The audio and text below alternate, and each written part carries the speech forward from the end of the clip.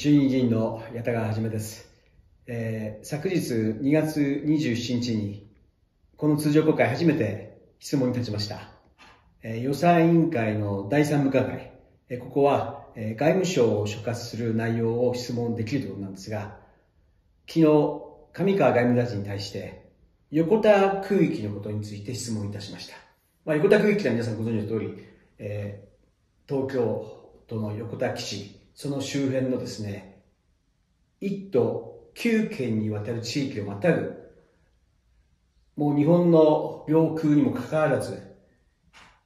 日本国が航空管制できず、アメリカ軍に航空管制を任していると、まあそういう異常事態なんですね。で、この横田区域というのは戦後8回にわたって返還されております。その最後の返還が2008年の9月なんです。で、その時はですね、その直前の国土交通委員会で、冬芝国土交通大臣のもとの鈴木航空局長が、全面変化を目指して努力すると、そうはっきりおっしゃったんですね。ところがその後ですね、えー、再三再四、えー、私が質問してもですね、2年前の斉藤国交大臣、そして今回上川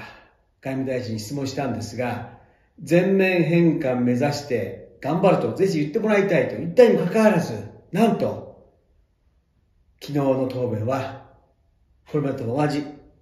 関係省庁と協議しながら、アメリカ軍と調整してまいりたいと。まあ、そういうですね、門切り型の答弁を続けるんですね。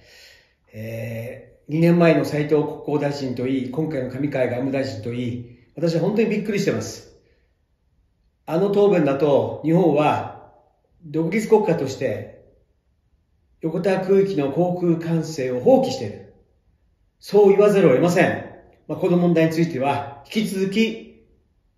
追求してまいりたいと思っております。どうぞよろしくお願いいたします。